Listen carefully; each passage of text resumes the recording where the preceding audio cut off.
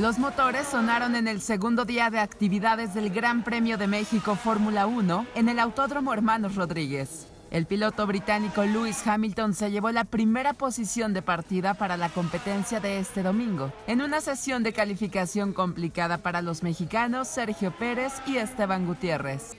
Atrás llegaron los coches de Ferrari, primero con el finlandés Kimi Raikkonen en la sexta posición y justo atrás Sebastián Vettel, quien no pudo reafirmar el empuje del viernes cuando dominó la práctica 2.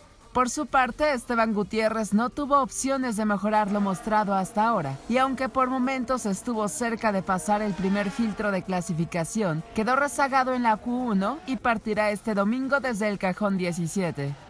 Tras asegurar la primera posición, Lewis Hamilton consideró que este domingo no hay una táctica específica y que solo tratará de ser fuerte para mantener abierto el mundial. Con imágenes de Arturo M. Toraya. Notimex.